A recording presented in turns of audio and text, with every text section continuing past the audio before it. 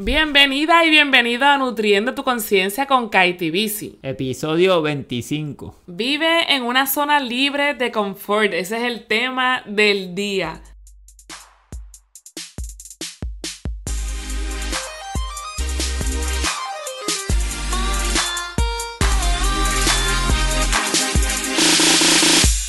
Tu cuerpo escucha todo lo que tu mente dice. Naomi Judd, actriz estadounidense. Hola, mi nombre es Pimari y junto a Jaime te damos la bienvenida a este espacio, en donde estaremos compartiendo contigo temas relacionados a una salud integral. Nuestra intención, que conozcas tu cuerpo y crees conciencia de cómo reaccionas a diferentes alimentos y situaciones. Consejos de cocina, funcionamiento del cuerpo y hasta de educación en el hogar serán algunos de los temas que estaremos hablando contigo siempre desde nuestra experiencia. Y antes de pasar al tema del día, te quiero contar algunos de los beneficios de la receta que subimos este lunes a nuestro canal de YouTube. Una ensalada de chayote al vapor, súper refrescante, deliciosa, perfecta para comértela acabadita de hacer o fría. En esta ocasión voy a hablarte del repollo. Contiene muchísima, muchísima fibra, por lo que favorece el sistema digestivo, ¿verdad? Que tú sabes que consumimos fibra y nuestro sistema digestivo, nuestros intestinos están agradecidos.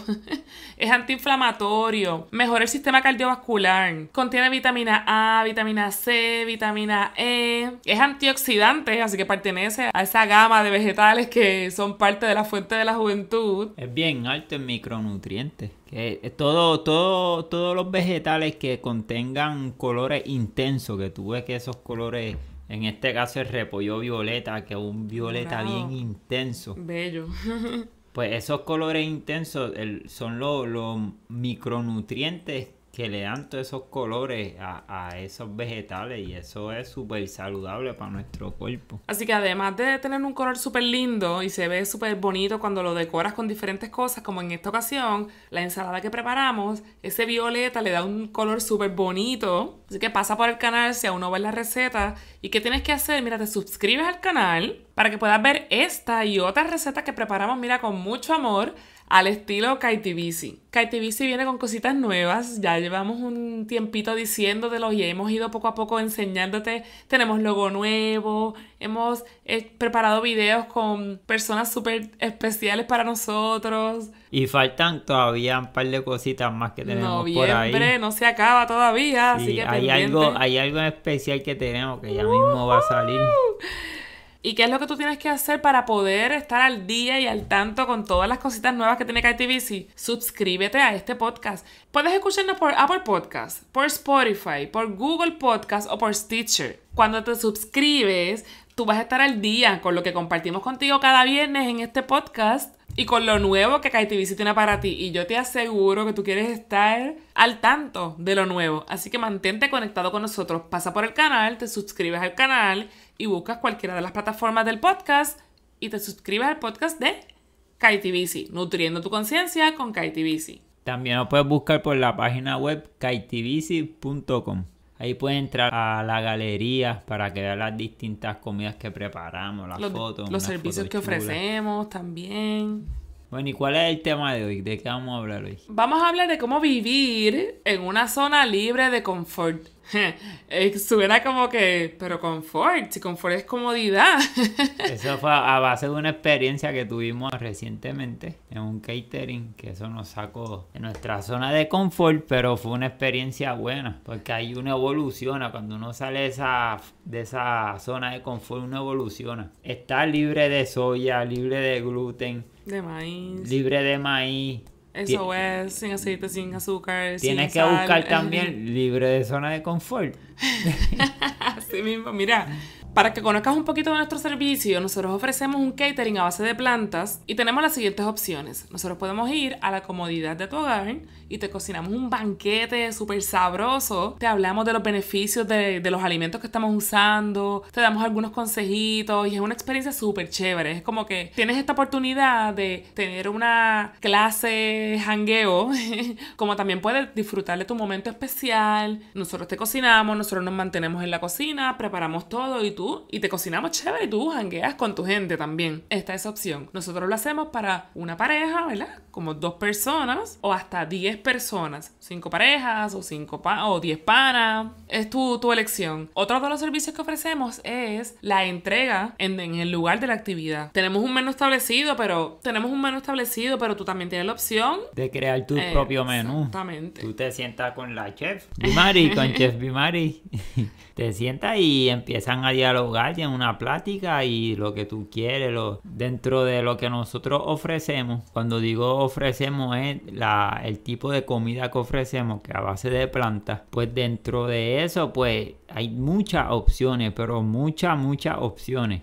Y no Y- todo lo a base de plantas, vegan, como lo quieras llamar, es pues saludable y nosotros buscamos que, que nutra el cuerpo y no por juzgar a nadie ni juzgar el tipo de dieta que tú llevas ni nada de eso, sino que, que en el momento en que tú comas tú puedas comerte una cosa bien sabrosa, un plato súper espectacular, pero que a la misma vez te, te ponga por dentro con todos los power. En el episodio 21 nosotros compartimos contigo qué es lo que tú tienes que buscar en una comida, el proceso que tiene esa comida. En este caso nosotros tuvimos una experiencia en, la, en el último catering que tuvimos, fue a última hora, ¿no? ¿verdad? Nosotros tenemos un tiempo para que nos hagan las órdenes. Para que sepas, es una semana, mínimo una semana de anticipación. Pues, el proceso que lleva, el menú que ya tenemos, pues tiene un proceso específico, una, un tiempo de activación de semillas y todas esas cosas que, que son los ingredientes principales de nuestras comidas. De activación y germinación, porque hay cosas que las germinamos antes de procesarlas. Un proceso natural, saludable. Exacto. Sano, un proceso sano, sin aditivos ni preservativos. Tenemos un menú establecido ya, ¿verdad? Y, y en- con ese menú que tenemos establecido, mínimo necesitamos una semana para, o por lo menos yo digo que necesitamos, pero es para hacer las cosas tranquilas, sentirme en mi zona cómoda, sentirme que estoy haciendo todo la la la la la la. Sí, pues también hay, hay otras cosas, a los nenes les da hambre, hay Yo- que, hay nosotros que hacer la escuelita. Nosotros hacemos exacto, educamos en la casa, hacemos el homeschooling, ¿verdad? Así que son muchas cosas, no es solamente bregar con eso. Hay otras órdenes que entran por otras partes pidiendo postre, pues hay que sacar el tiempo para los postres, que también es otro proceso de, de limpieza, activación. de las semillas y los ingredientes principales. Y si tú quieres ordenar tus postres, mira, semanalmente nosotros tenemos una, unos escogidos de unos postres súper sabrosos que tú puedes hacer tu orden. Desde hoy que estás escuchando este podcast, puedes pasar por Instagram o Facebook, nos escribes y haces tu orden. Tienes hasta el miércoles a las 11 de la mañana. Así que tú puedes ahí, puedes mirar, porque hay veces que la, la decisión es tan difícil que te los quieres comprar todos. Míralos con calma y tienes hasta el miércoles a las 11 de la mañana para hacer tu orden, para que pruebes de los antojitos 100% libres de cargo de conciencia de KITBC. Volviendo al tema, esta última persona que nos contactó para llevarle un catering, nos había dicho ya, y, pero no nos dio seguridad. ¿Qué sucede? El mismo sábado, ella llama temprano a Bimari, le dice, mira, para ver si tengo break para el catering para hoy, para el mismo día. Mira, ese, yo, yo, nosotros teníamos planificado ese día hacer otras cosas. Era el día relax. Jaime estaba libre del trabajo, que normalmente Jaime trabaja los sábados. Como te hemos dicho, nuestro sábado es el martes. y algo me decía, levántate, levántate. Y, yo soy dormilona, te lo he dicho en episodios anteriores. A mí me encanta dormir. Y dije, "Está todo el mundo libre. Yo voy a dormir hasta las 1500. Pero mira, me levanté bien temprano y cuando leo el mensaje que está diciendo Jaime. Y en este caso, pues Bima lo que dijo fue, bueno, que le voy a ofrecer. Depende menú, del menú, pues uno consigue la- los las distintas viandas, verduras para crear ese menú. Y con esto de la pandemia es un poquito más difícil moverse a diferentes lugares. Es como, de ahora para ahora, ¿qué hago? ¿Y qué hicimos? Se salió de la zona de confort, de la comodidad, y uno evoluciona y uno pone a la mente en patines ahí a crear cosas. Que trabajamos, que nos duelen todavía hasta las pestañas. Somos dos. Pero lo que nosotros ofrecemos es lo mismo que nosotros comemos. Pues abrimos la, la- Calidad. abrimos la alacena. ¿Qué es lo que tenemos? Tengo esto, esto y lo otro. Pues eso mismo es lo que le vamos a ofrecer. Y ahí vimos, se puso pam, pam, pam, pam, creativa y creó un menú y la llamó y mira, tengo esto, esto, esto y esto. Y ellas entraron en un diálogo hasta que se estableció un menú. Y una vez establecido ese menú, Manos a la hora, vamos a cocinar por ahí para abajo. Salieron cositas extra, además del menú. Nos pidieron, bueno, en, en lugar de un menú que le había ofrecido, terminamos haciendo para la misma cantidad de personas dos menús, porque era como que pues, yo quiero esto y esto. O sea, porque la verdad es que cuando tú contactas a KTVC, puedes ir a la página web ktvc.com y en el área de contacto, déjanos saber la cantidad de personas. Trabajamos desde una pareja, dos personas, hasta 10 personas. Cinco parejas, o 10 panas que se van a encontrar y quieren hacer una comida en vivo, ¿verdad? Y coger una clasecita y aprender diferentes cositas para hacer de tu cocina una farmacia. Deliciosa y saludable. Que ese es el propósito principal de todo esto. Al entrar en esta dinámica de trabajo, salir de la zona de confort de, hecho, pues tenemos que hacerlo ahora. La idea no es estresarse y no es que el estrés sea malo, porque hasta un punto, ¿verdad? El estrés es bueno, es bueno que el cuerpo entre un estrés. Como que sí, una pompeadera, exacto, hay una, adrenalina. una adrenalina. exacto, una adrenalina chévere. Tu, tu mente se, puff, se pone más amplia, empieza a crear más cosas. ¿Me, me explico? no, súper. Entonces, cuando yo me acuerdo, cuando yo era pequeña, en la clase de arte era como, pues yo dibujaba como que así, o sea, no me salía el lápiz y todavía tengo el palito y las cosas. Pero cuando tú me das comida, a mí me encanta comer. Así que yo hago una obra de arte. O sea, yo ahora mismo te invito a que pases por Instagram y Facebook. Subimos una foto de una tarta de calabaza, que es la que está en este menú de noviembre. Así que si tú quieres hacer tu orden, tienes hasta este miércoles. Pero yo hice esa tarta. Mira, permiso que cuando cuando cierre y abra los ojos, se va a ir noviembre y te vas a quedar sin la tarta de calabaza. Apúntate, tienes hasta este miércoles. Y no solo una obra de arte, una información que tú estás creando, una información que tú estás formando en un plato, que es información la que tú vas a meterla a tu cuerpo. Cuando tú lo ves, porque hay veces que cuando vemos la comida, hay veces no, es que comemos por los ojos. tú ves un plato y tú no sabes lo que tiene, pero si, si se ve hermoso y, se ve así como que bien sabroso, tú, te lo quieres comer sin saber lo que tiene. Así que comemos por los ojos. Y qué mejor que tú preparar algo que se vea súper espectacular y súper rico y tú quieras meterle mano ahí, sacar el tenedor y si estás viéndolo en una pantalla, como que meter la mano en la pantalla y sacar lo que estás viendo. Pero entonces que los ingredientes sean buenos para ti. que te nutran. Exacto. ¿Y qué pasó con el catering? Hicimos un menú que se customizó. Eh, hablaron, la, la, la, la cliente habló, habló con la chef, pam, pam, y llegaron a un acuerdo y, y se hizo un buen un buen menú. Cliente satisfecho, KTVC satisfecho. Y se busca, y se buscó par de pesos, uno peso trabaja para buscarse par de pesos. Bueno, chao. Y esa es, y esa es la idea. Pero para eso muchas veces uno tiene que salirse de la norma. Y no es que las normas no sean buenas, es bueno seguir una norma, una regla. Porque si tú no sigues una regla, no va a funcionar va a fallar en algo y puede causar otras cosas malas. Hay una regla, hay una norma. Pero llega un momento en que si tú quieres evolucionar, acuérdate, alrededor de nosotros lo que nos rodea es la naturaleza y la naturaleza evoluciona. El mundo evoluciona. Pues uno tiene que evolucionar. Pero para poder evolucionar, ¿verdad? Esto es un pensar que yo tengo. Para poder evolucionar muchas veces tienes que salirte de la norma, de las reglas. Pero en el tiempo donde hay que salirse. No a lo loco, porque si lo hace a lo loco, no, no va a ser positivo. Va a ser más negativo lo que va, te va a pasar. hay que organizarse y tener como que un plan. Dentro del plan no siempre va a salir como está ahí escrito, pero por lo menos si pasara un desastre de momento alrededor tuyo, como estamos viviendo ahora en este 2020, no sé cuándo tú me escuches, pero en este 2020 ha sido como sacados de la zona de confort full. Y muchas veces hay que salirse de la norma. En esto de la pandemia hay que salirse de la norma por uno seguir echando para adelante. Es como el ejemplo de la historia de que, que mi, mi mamá me enseñó a cocinar el pescado sin cabeza y sin cola. Fue una historia que le estaba comentando a Jaime que escuché en el podcast de Emocionalmente Fuerte de la doctora Wanda Piñeiro, que a mí me encanta. Ella hizo, ella hizo esta historia. Está esta niña que ve a su mamá que cuando va a cocinar el pescado le corta la cabeza y le corta la cola y lo pone en el sartén. Ella le pregunta, ¿por qué tú haces eso? Y la mamá le dice, bueno, así me lo enseñó mi mamá. Ve y pregúntale a tu abuela. La nena va, abuela, ¿por qué tú haces eso? Y la abuela le dice, yo lo aprendí de mi mamá. Pregúntale a mi mamá. Pues la nena va tiene ese, ese privilegio de todavía tener su bisabuela, o le pregunta a la bisabuela, bisabuela, mi abuela me dijo, mi mamá me dijeron que te viniera a preguntar por qué tú le picas la cabeza y la cola al pescado cuando lo vas a cocinar. By the way, yo no te recomiendo que comas pescado, pero así escuché la historia. Ese no es el punto. Y la, la bisabuela le dice, bueno, yo no sé por qué tú lo hace tu abuela ni tu mamá. Yo lo hacía porque mi sartén era pequeño y a mí me cabía un pescado sin la cabeza y sin la cola. Esas partes nada más me cabían en el sartén que yo tenía, o sea, en su realidad.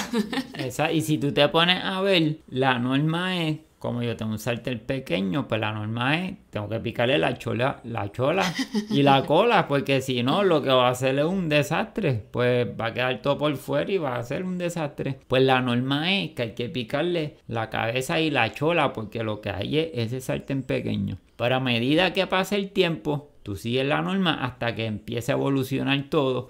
Tu entorno evoluciona, el sartén evoluciona y tienes un sartén más grande. Pues, ¿qué va a hacer? ¿Va a seguir picándole la chola y la cola al pescado?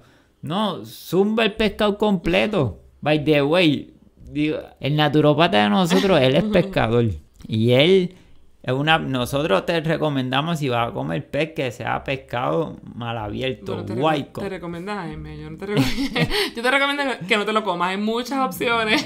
no, pero mira, el naturópata de nosotros él es pescado y él mismo nos dice a nosotros que él come uno o dos veces a la semana pescado y él lo tiene que pescar. Si él no lo pesca, él no se lo come. Incluso me acuerdo al principio cuando yo estaba en esta transición, yo dejé lo que fue la harina blanca y la carne, yo la dejé de cantazo. El pescado me lo seguía comiendo, pero era así cuando iba a pescar los malecones, que yo veía la dinámica que venía el pescador, pues ahí yo iba, pan, y era pescado fresco y lo compraba. Un día estábamos comiendo, pues ese día yo pedí dos chillos, uno para mí y uno para para el Burayón. Nos traen los chillos, tenían los ojos. Yo pues probé un ojo y ese es como comerse una molleja dura. El otro ojo no me lo pude comer. Cuando yo miro para el lado, el nene mío se comía los dos ojos y me estaba pidiendo el, otro ojo que yo dejé. Si tuvieras mi cara, o sea, yo, ahora pues yo no me los como y no estoy juzgando a nadie, aquí no juzgamos a nadie, hablamos de nuestra experiencia y lo que ves, lo que no funciona y lo que no, whatever. Pero a mí nunca me gustó bregar con los animales crudos ni los animales en general. o sea, si tú vas a darme un pescado, en aquel momento que me lo comía, dame como el filete, sin nada, que yo no tenga que ver sus partes. Ay, yo no, ya, escarbaba para el cerebro. Sí, de hecho, el naturópata no, yo se lo conté al naturópata y él nos dijo, pues muy bien, porque en la chola del pescado y en los ojos es donde más concentración hay. Para el que no sepa qué chola. Exacto, en la cabeza del pescado es donde más concentración hay de omega 3. Así que el hijo mío lo hizo muy bien, comerse los ojos del pescado. Pero nada, no juzgamos a nadie, ¿verdad? Lo, lo, único que te aconsejo es que si tú vas a comer pescado, vuelvo y te digo, lo consigas de mal abierto, que no sea del criadero. Y te lo comas con verduras, con vegetales. Hasta Guaquilla me dio un sí. que ella también se lo come así. o sea que la nena lo que hizo fue salirse de la norma y la nena va a aprender ahora a cocinar el pescado completo. ¿Qué pasa? Al tú salirte de la norma, al, al tú evolucionas y vas a adquirir mejores cosas para ti. En este caso, vas a comerte la chola y la cola y en la chola vas a obtener más omega 3 que va a ser más beneficio para tu cuerpo. Estoy hablando, ¿verdad? Hablando de la historia de la nena. De la historia de la nena, así que me va a quitarle a mí. Yo estoy aquí como que no hables de pescado, pero tú haces. No, pero cuando uno si tú quieres evolucionar, tú tienes muchas veces, tienes que salirte de la zona de confort, salirte de la norma y experimentar. Que si fallaste y fracasaste, pues vuelve e inténtalo y vuelve e inténtalo. Como te dijimos en el episodio número 24, no te quites. Algo no te salió como tú querías, pues lo intentas otra vez. Cerrando, ¿verdad? Esta historia de nuestro catering, nuestro último catering. Fue una experiencia bien chévere. Le metimos con todo, como hacemos siempre, que nosotros cocinamos y creamos los platos así como con mucha intención, porque a mí me encanta comer. Así que cuando yo preparo los platos, cuando preparamos los platos, porque Jaime ahí siempre me ayuda, son platos con ganas de que nosotros nos los vamos a comer. Así que es lo que te vamos a ofrecer a ti siempre. Y lo importante es uno meterle todo el empeño y toda la fuerza cuando tú vayas a hacer algo. Y ser honesto en lo que tú vas a hacer. Eso siempre, eso es ley, ser honesto. Puede que salga afligido haciendo las cosas honestas, correctas. Pero si tú no las haces correctas, también vas a salir afligido. Hay una persona, él se llama Catch Luna, que él un día dijo, es mejor ser afligido siendo honesto y haciendo las cosas correctas que ser afligido cuando no estás haciendo las cosas correctas. Así que, ¿vas a ser afligido o no afligido? Mira, las cosas correctas, las cosas honestas, que el resultado va a ver que va a ser bien positivo. Así que ya sabes, vive fuera de la zona de confort. Es más divertido, son aventuras, la vas a pasar súper cool. Tú no vas a saber de lo que te pierdes. porque a veces tienes a lo mejor un poquito de miedo, un poquito de, incertidumbre, pues porque no sabes a dónde te vas a meter o qué es lo que vas a estar haciendo, ¿verdad? Siempre y cuando sea de beneficio para ti. Pero tú aprovechas y sales de ahí. Mi mamá siempre me decía, cuando vivía, ¿verdad? En su casa, ella me decía, no hay peor gestión que la que no se hace. Muévete, haz lo que tengas que hacer por hacer lo que tú quieres, por hacer lo que es beneficioso para ti. Y como dice el dicho, para descubrir cómo nadar en el mar hay que salir de la pecera. Sal de la zona cómoda, sal de la caja, sal de esa esquinita donde siempre estás, donde todo es cómodo, donde todo es fácil. Y vive un día a la vez. Un día a la vez, escúchate, conoce tu cuerpo. No se trata solamente de la alimentación, muévete, haz ejercicio, busca lo que te apasione, haz lo que te gusta, porque eso es lo que tú vas a necesitar para que ese sea tu motor y si te gustó este episodio, te invitamos a que lo compartas con alguien que quieras mucho para que también se conozca desde la conciencia. Desde el corazón, Kaiti nos escuchas el, próximo, viernes.